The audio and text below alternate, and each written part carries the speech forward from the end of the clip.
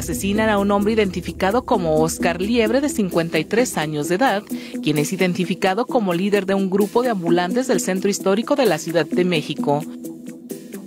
Según declaraciones de familiares, la muerte de su padre se debió al parecer por no dejarse extorsionar.